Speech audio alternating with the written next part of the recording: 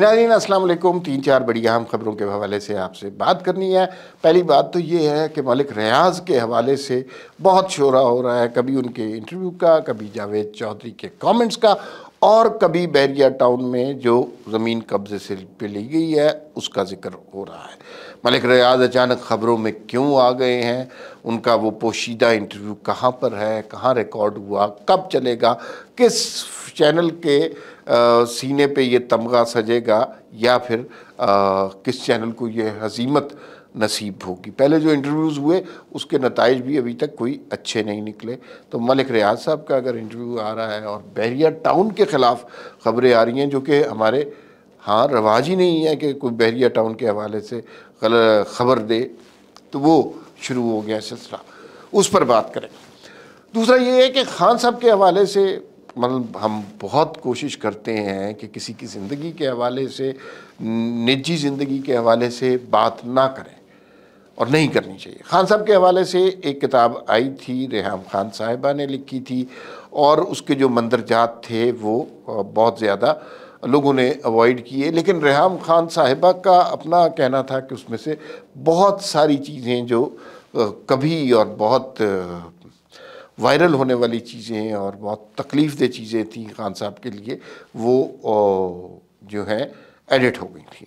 अब अचानक एक और तमाशा शुरू हुआ है। एक और ख़ातून सामने आई हैं और उनकी एक और किताब सामने आ रही है जिसमें खान साहब के हवाले से आ, उनकी ज़ाती ज़िंदगी के हवाले से मज़ीद इंकशाफात हो रहे हैं और वो इंकशाफात सुना है कि खान साहब के जो उन्होंने अपना कॉन्सेप्ट बनाया हुआ है कि इस्लामिक टच वाला, वो सारा कॉन्सेप्ट जो है, वो धरा का धरा रह जाएगा क्योंकि बड़ी कभी किस्म की शबीना वारदातों की तफसील है उसके अंदर जिसमें बहुत सारी बातें ऐसी हैं जो शायद मीडिया कोट भी ना कर सके, लेकिन मीडिया की दिलचस्पी उन बातों में ज़रूर है। वो खातून कौन है? किताब कौन सी है और तकरीब कब हो रही है, इसके बारे में भी इस वीलॉग में हम बात करेंगे। मोनस इलाही और परवेज़ इलाही की सख्ती माफ़ नहीं हो रही। और वो जो है ना, असासे जब्त होते जा रहे हैं, जब्त होते जा रहे हैं, अब अकाउंट भी मुंजमद हो गए हैं। यानी जो कुछ लूटा था, लेकिन ये बड़े सियाने लोग हैं।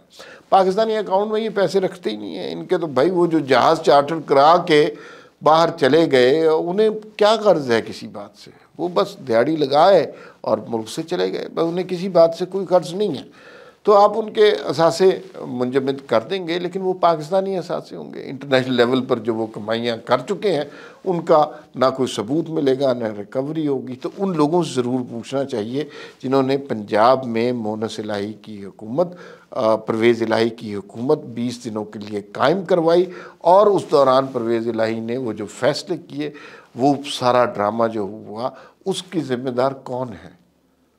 तो ये मुल्क को नुकसान हुआ ना।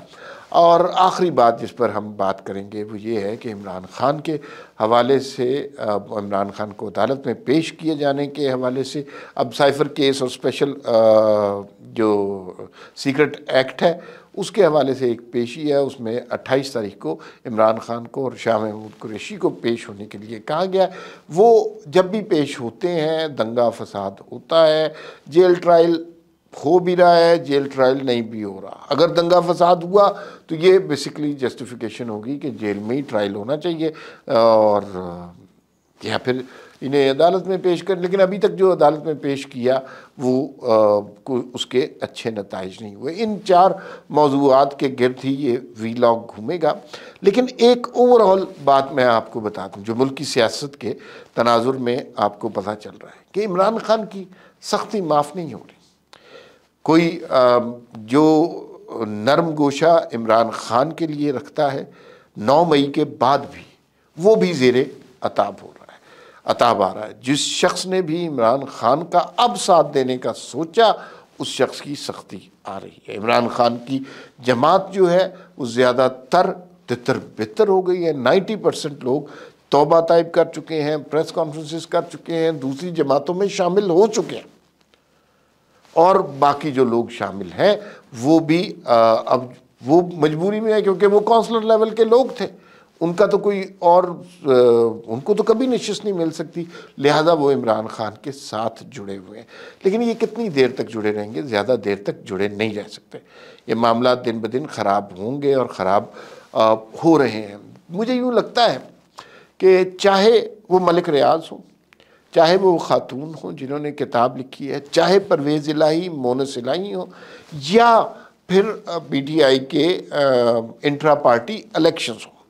हर जगह से इमरान खान को सज़ा दी जा रही है नौ मई की। और नौ मई को जो हुआ, काबिल ताज़ीर था।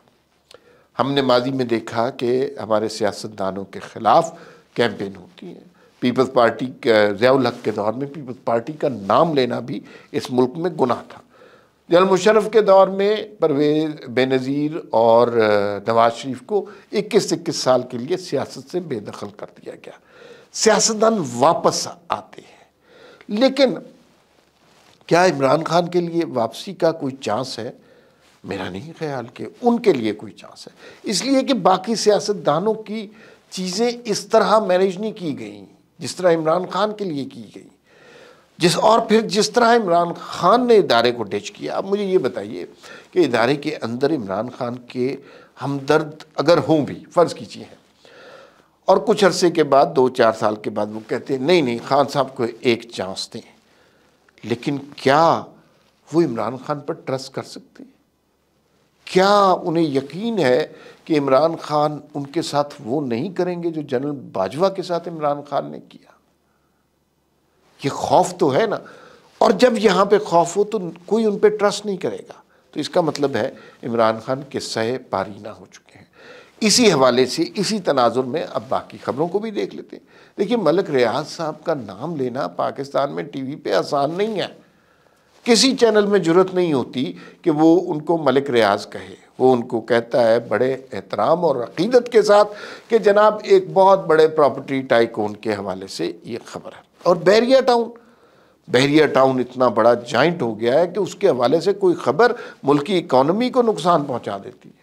लेकिन अभी जो खबरें आ रही हैं, एक तो मलिक रियाज के इंटरव्यू के हवाले से और दूसरा फिर आगे इस हवाले से कि बहरिया टाउन ने कब्ज़ा माफिया के ज़रिए तीन हज़ार एकड़ ज़मीन कब्ज़े में ली।